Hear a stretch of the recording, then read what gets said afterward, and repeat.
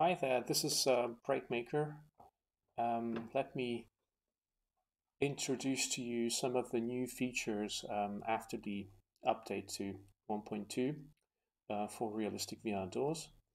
Um, some of you have requested, uh, actually I, I got uh, three uh, requests uh, for a new feature that is you can um, you can assign specific key instances to specific doors so that um, obviously not um, all keys would work with all doors and um, yeah I've uh, this has been implemented and um, um, I came up in a way that is uh, that is flexible. So let me show you first how, how this uh, works in, in, in the editor, setting it up. It's extremely easy. It's a, uh, a process of maybe like a half a minute. And then um, show you what that means in virtual reality. If you, for example, insert a key, a wrong key in, into your lock, what happens then? All right, so just uh, get my details panel here. So you, you um, as like uh, before, all the parameters are exposed on, on the parent door. So even though there are a lot of child uh, actors that are um, that are um, registered on, on, on the door, all the parameters are, are, exposed and piped through to the door. So for example, in this case, uh, you, you scroll down and look for lock has no key preference. If this is enabled, then this feature doesn't work and all keys work with, with all doors. Uh, but if you um, if you disable it, like I did, then you can essentially just uh, uh, pick an actor from the scene, and it, it is a key actor, so you can only select keys. Uh, like let me zoom in so that you see there. Uh, if you select this key, as you can see, I've already pro provided a text that this matches with this door. However, this key doesn't match with this door. Let me just do it again. You select it. Well, let me clear it first. You select it. And now there is an association. Um, I've also included a, a um, um, editor call function indicate matching keys. If you click this, it, it will visually indicate where the associated key or keys are, are located. This is useful, for example, like obviously in an adventure game setting, you would kind of try to hide the key somewhere uh, within a closet or uh, or somewhere locked away, uh, so that the the, the player doesn't have a very um, easy time to uh, unlock the door. And in some cases, it might be difficult to actually relocate where, where the associated key is. Now, with this system, uh, as you can see, it's actually an array. So if you can you can expand it as you like, and you can uh, assign multiple keys to one door, for example, so that uh, uh, there, there may be many many keys uh, that fit a door and um, conversely you can actually have one key fit many doors as well with the same system like if we select another one like we select this one uh, this this goes with both keys as it says up there uh, I set it up the parameters so that uh, it, it matches with both keys but let me let me just demonstrate how that works let me copy this key a few times. And uh, currently only this uh, th and those ones work. Let me clear those ones. Uh, but uh, we can select uh, multiple ones. Yeah, select this one. And then if we indicate it, it works then.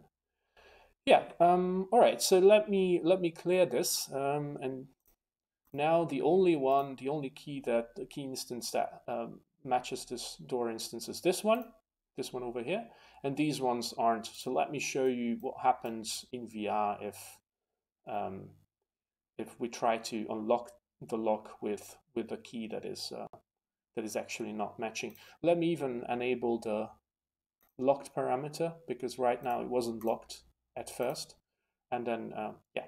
So Wait a second. I need to go into VR. I just have the headset on my table so that you can hear me through the microphone. Yeah, so here we are in VR. And as you know, there is um, free locomotion because um, teleportation doesn't really fit well in this scenario if you want to physically interact with a door. So we try to open the door and, oh, sorry, debug is enabled. That's why there's the line. And it's locked, so we can't open it. And my battery just died on my left controller. Sorry about that. Let me just use the right one. So this key is the correct one. This isn't. Um, if we select this key, we can we can uh, insert it and it works well. We can we can lock it, unlock it. As you can see, the uh, other feature is this affordance system. This has already been there, and now there is actually a, a hint system that shows you what you need to do so that um, so that uh, you can you can unlock the door. Now let me remove this key and take the wrong key.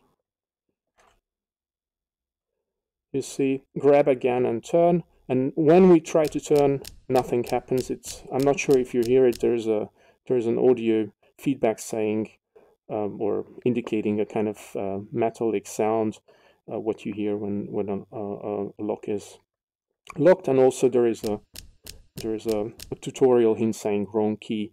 This is the other feature because uh, now let me point out that this um, hand to key key lock interaction is not 100% like in reality and th this is more or less um, has been a, a conscious design, design choice you see if you if you interact with a with a lock in reality your hands your real hand automatically assumes um, a sort of pinching motion for the fingers um, and this kind of pinching motion can't be replicated if you hold a motion controller in your hand. You simply do not have the physical uh, space for your fingers to assume this motion.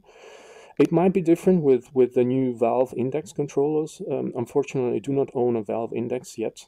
Uh, maybe if I get some more revenue, I'll be able to buy one and then I can support it. But with Oculus Touch, it's not possible for you to to pinch your hands while you hold the Oculus Touch controllers. That's the first reason why it's uh, not like reality. And second reason is, um, um, you see in reality, if you want to unlock a, a, lock, you kind of use an interplay of your wrists and, and fingers to produce the rotational movements that is needed for you for you to to to rotate the key uh, in the cylinder. Um, and you can't do the same here with current VR hardware simply because you do not track the wrist.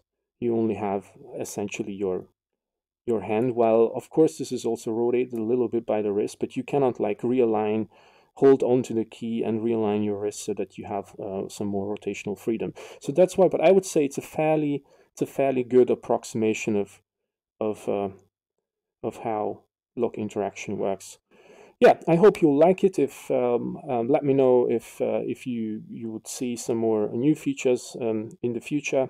And um, yeah, thanks for watching and thanks for your interest. Bye.